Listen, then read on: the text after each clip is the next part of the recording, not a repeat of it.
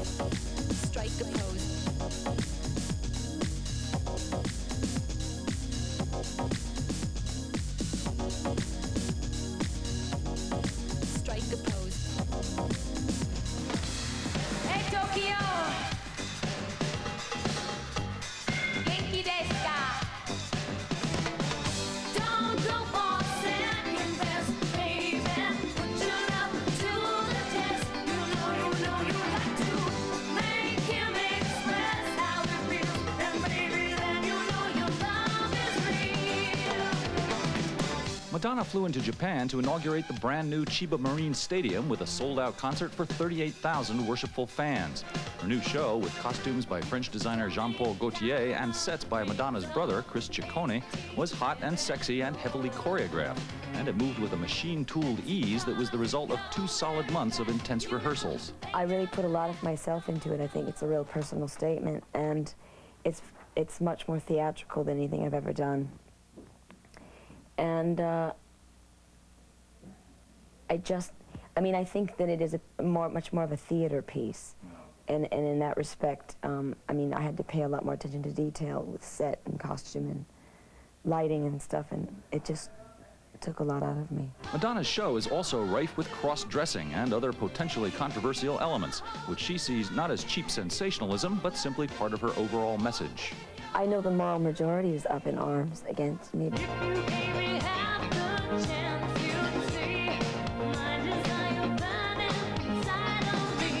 Think that I'm offending um, certain groups, but I mean, I, I think that people who really understand what I'm doing aren't offended by it because because it's pro-life, you know.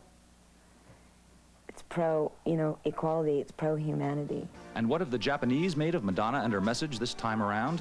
No one's really spoken to me in Japan. They just stare a lot. They love her here. Yeah. I know. Almost worship her here to a certain extent. I'm excited. My my heart beats heartbeat. Don't go for second best, baby. Put your love to the test. You know, you know you got to. The only bum note at Madonna's opening show was a torrential downpour of rain, which made things tough at times for the singer and her 16 member stage troupe. There was so much rain that I, it's really hard for me to know what did and didn't work in the show because I was dealing with another element, you know what I mean? And I was just trying to get through the show and not break my leg and watch over the dancers. So.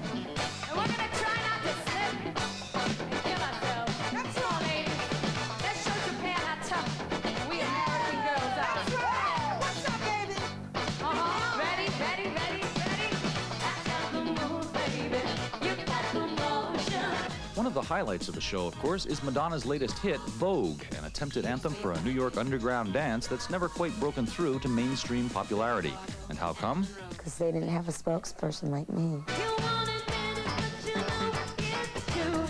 If anyone can break voguing as a big time fad, it's Madonna, a woman who's trailed styles and images in her wake throughout her career.